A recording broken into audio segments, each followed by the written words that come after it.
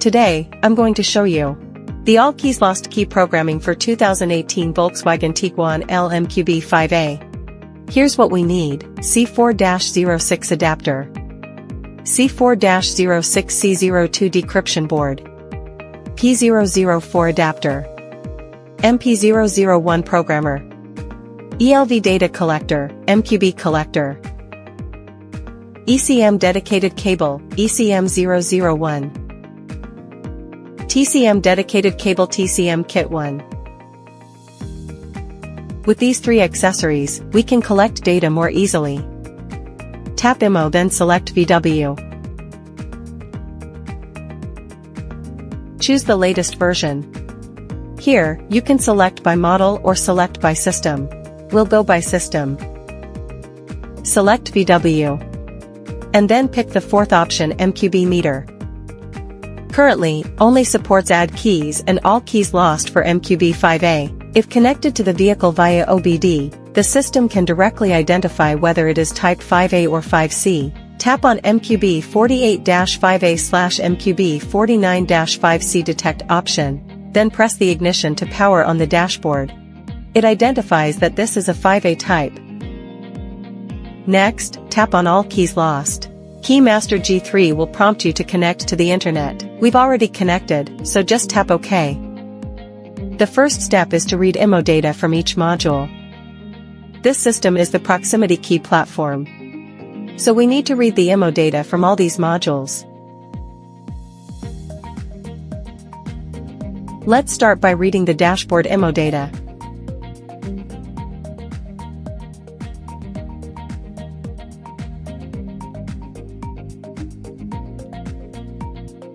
Since we've already removed the screws, we can easily take it apart.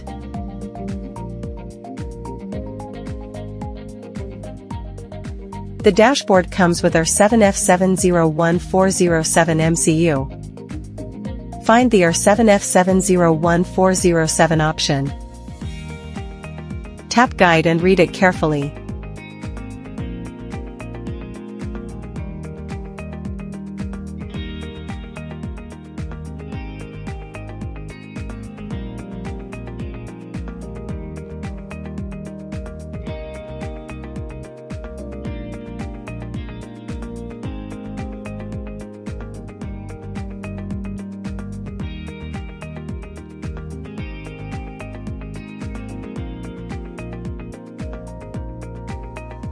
This is the wiring diagram. We can check the appearance. The soldering points are on the back. So we need to continue disassembling.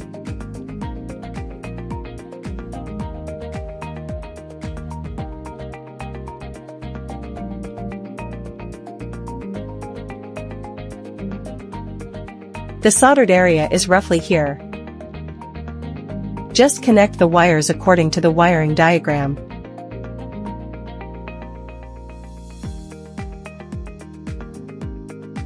There are two decryption boards. Today, we will be using the black C4-06C02 decryption board. Then, for the decryption wires, we need two red decryption wires for the connection. Just make sure to connect these from the decryption board. Don't make any direct shortcuts on the dashboard PCB board. Let's start by soldering according to this wiring diagram. After soldering, give the wires a gentle pull to check for secure connections. Next, let's solder the decryption board.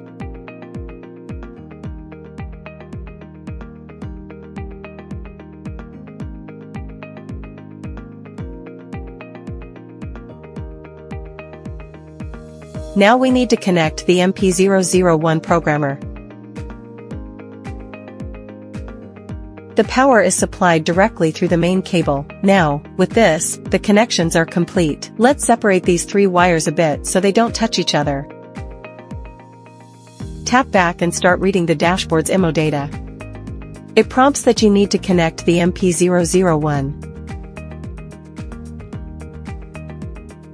Now, the flash data has been read. The file name can be modified.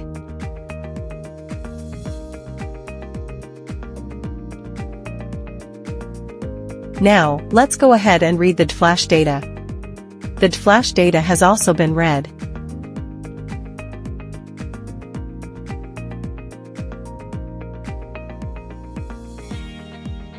Then, let's parse the IMO data.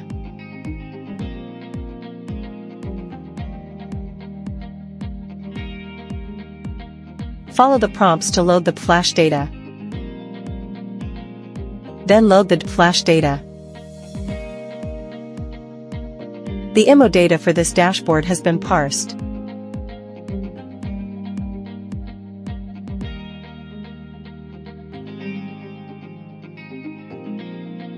Now, we have parsed out the CS code for this dashboard. With that done it means we have completed reading the IMO data for the dashboard. Next, we need to read ECM IMO data. Restore this dashboard.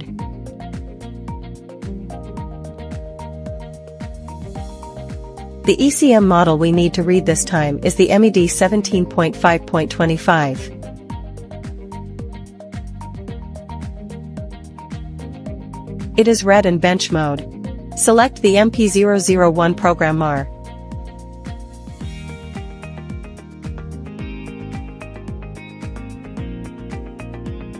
Here are some important notes. This is the connection method.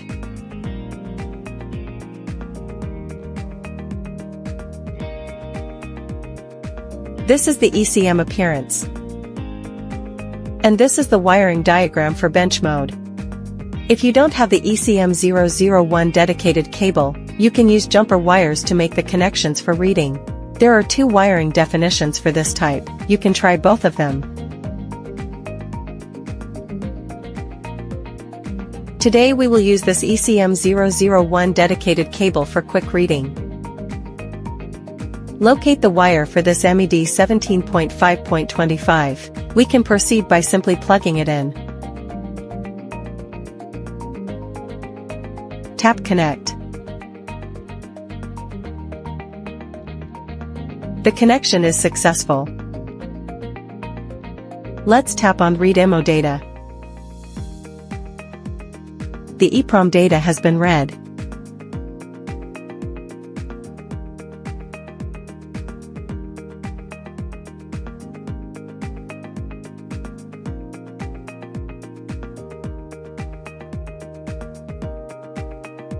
Now, we are reading the flash data. This data has also been read successfully.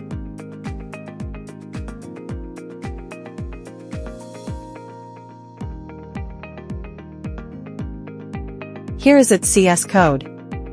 Next, we will parse the IMO data. Follow the prompts to load the flash data.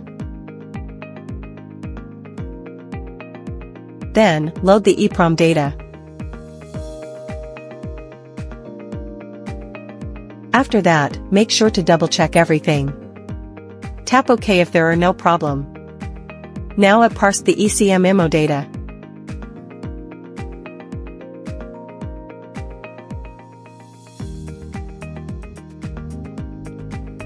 We have completed reading the IMO data for the ECM. Tap Disconnect.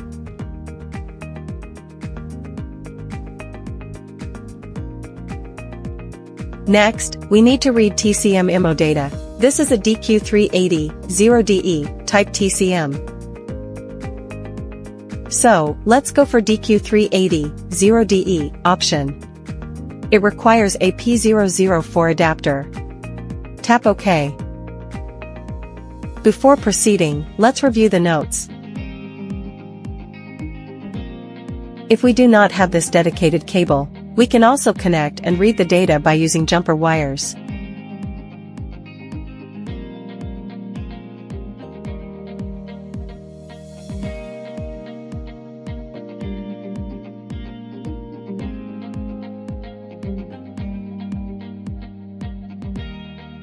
Now, let's make the connection, locate the DQ380 cable and plug it in. Then connect it to the P004 adapter. Now tap on Connect. Follow the prompts to turn off the ignition. Since we have already turned it off, we can directly tap OK. Follow the prompt and tap Yes. Then, turn on the ignition. Good, the connection is done. Now, let's directly read the TCM IMO data. The CS code has been read successfully. After that, it will generate a new TCM IMO data file.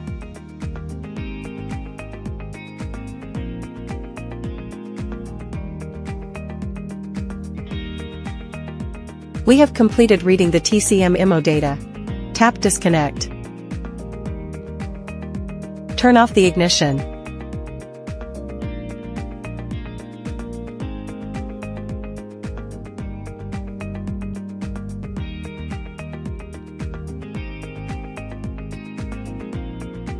Next, we need to read ELV IMO data. Which is this module?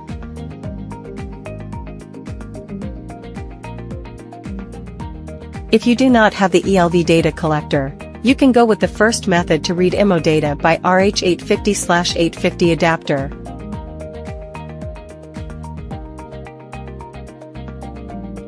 and requires you to read the data by soldering wires. If you have the collector cable, just connect it directly to the OBD port, and then plug in the dashboard connector. Once everything is connected, you can start collecting the ELV authentication data. The ELV IMO data can be calculated directly through the server. Today, we operate the second method. First, let's check out the guide. And here is the wiring diagram.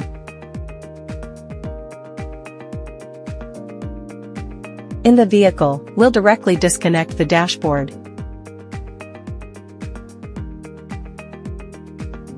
and connect it to the MQB collector.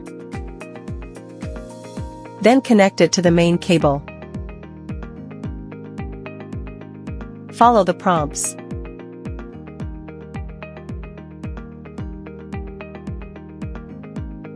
Since we are using a proximity key, simply tap OK, and then press the ignition switch once. The ELV authentication data has been collected.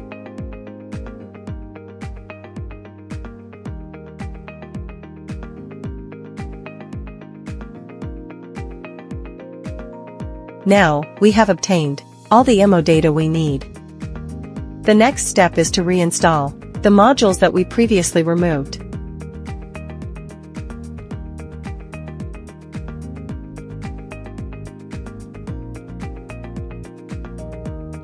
We've read IMO data from all modules. Next, we will proceed to Calculate sync code. Select proximity. Follow the prompts to load the dashboard, ICM, data. Then load the ECM data.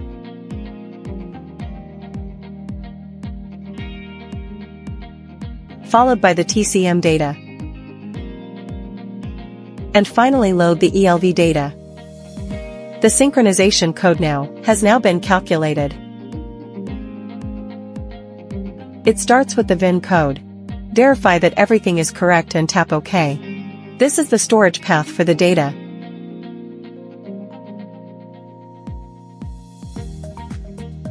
Now, let's move on to make dealer key. Make dealer key means to write the vehicle's IMO data onto the key so that the vehicle can recognize it. We need to do this before continue with the next steps.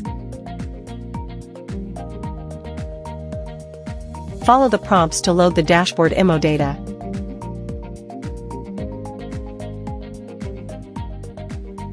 and then load the synchronization data.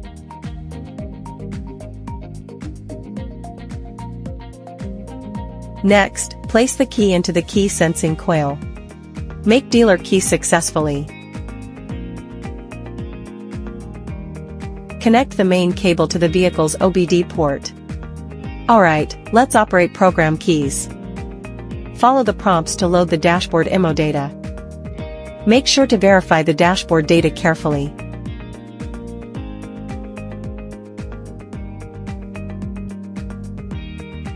Since we are only programming one key at this time, Just go with the default one here. There is a attention here. Keep the key close to the induction coil. Tap OK. Press the ignition once. We can see that the dashboard key mode displays 0 to 1. And it turns 1 to 1 and the dashboard lights up, indicating that the key has been programmed.